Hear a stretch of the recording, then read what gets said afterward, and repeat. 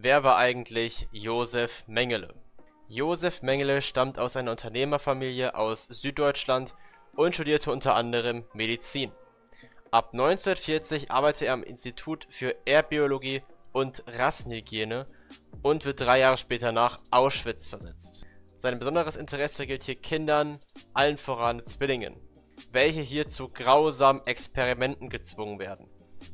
Beispielsweise prüfte er, ob sich die Augenfarbe durch Einspritzen von Farbstoffen ändern kann oder er infiziert Zwillinge mit Tuberkulose und Typhus.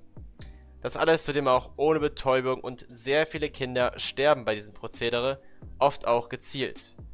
So kam er übrigens zu seinem Namen Todesengel.